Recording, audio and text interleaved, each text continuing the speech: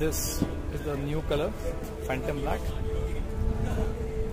और ये जो है, इन्होंने टेक्सचर चेंज किया है। अब ये मेटालिक शेड में ऑफ़र की जा रही है। इससे पहले मैट ब्लैक कलर्स का लॉन्च किया था कंपनी ने जो कि अब बंद कर दिया है। पीछे का ये जो रेसिंग का डीकैल था, ये भी इन्होंने हटा दिया है। most of the other stuff remains absolutely same bike looks fabulous there are no two ways about it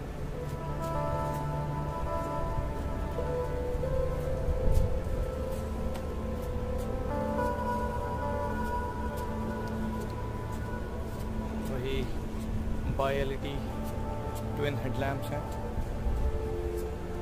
अब ये स्लिपर क्लच के साथ लॉन्च की है टीवीएस ने 2019 वर्जन को।